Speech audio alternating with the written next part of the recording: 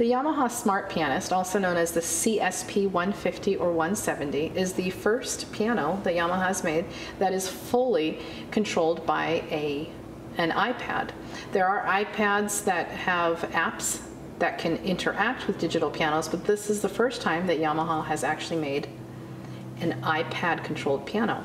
I'm going to show you the piano room right now because you're already familiar with the piano and the fact that it comes with about four different features. We're going to focus just on the piano room here. The piano room is where you go to make your digital piano sound and feel just like an acoustic piano. The first thing we're going to look at is the lid position. The lid can be closed, it can be at um, half stick or all the way. That would provide a nice open sound this would provide a quieter closed sound. You can do that with your hand or you can just open it like this. It's kind of neat, not totally necessary, but it can warm up your sound a little bit, make it a little quieter without actually having to play quieter. The next setting in your uh, piano room settings here is the brightness level. When a piano is too bright, the needles, they can, they can needle the ha hammers in order to add some holes to the hammers to decrease the amount of contact that the hammer has with the string, making a softer tone. When the hammer is compact and tight and it hits the string, it can make a very bright sound. Let me show you what a bright sound would sound like. That is very bright indeed.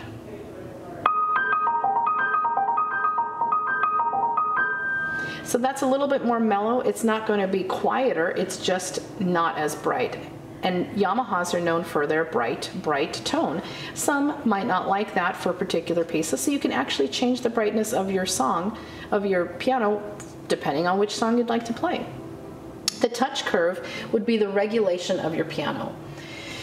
The regulation on acoustic piano is how hard and how or how lightly you have to push on the keys in order to engage the hammers. Now all of our acoustic and digital pianos have a um, heavier weight at the bottom of our keys, a lighter weight at the top because it doesn't take a lot of uh, weight in your hammer to hit the very thin upper register strings. It takes a lot more weight for the lower ones. These digital pianos already have that set in there, but you can further adjust the touch curve. This is a very soft curve. And if you want it to push a little bit harder, you can go all the way to hard two. Now, why would you want to do that? Perhaps you're playing a song that is very technical and it's too hard to push the keys down. You might want to start on a very soft touch so that you can do it really fast. And then as you increase the weight of the key, it can get closer and closer to mimicking that of an acoustic piano. Other pianos might be regulated, other acoustic pianos regulated with a very hard touch. Maybe you'd like to practice with a hard touch and then perform on one of those pianos. A fixed touch is the final option, and that means no matter how soft, soft or hard I push, the sound will come out the same, much like an organ or a keyboard. So I'm going to keep it at soft here. The environment is the room in which you're in. So I'm going to show you the environment out here. Let's go to a cathedral setting. In this cathedral room, it sounds very beautiful, like a cathedral. In the chamber, there might be a different sound. In the cathedral, I can go into the environment here and I can increase the depth of the reverb and now it sounds like it's really coming off the walls and I'm just right there in the cathedral. You can practice as if you're there and really enjoy the moment when you're playing. I'm going to take it back out of this and go back into my options here. The master tuning would be how a piano is tuned and the pitch.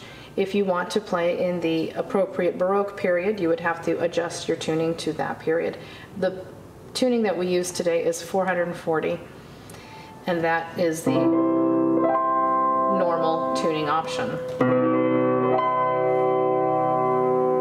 I myself have never used that feature, but it is kind of neat. This is the virtual resonance modeling.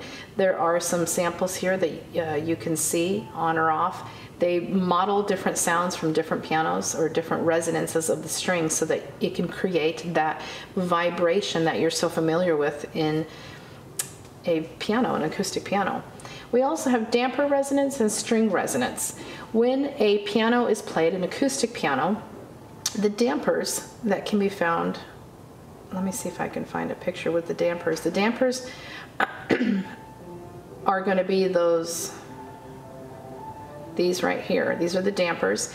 And when you play a, a, a, string, the dampers can actually resonate because they're made of wood. The strings will also resonate, not only the one that you played, but those around them. And that's the full effect of that, of that sound that you're hearing when you're playing an acoustic piano.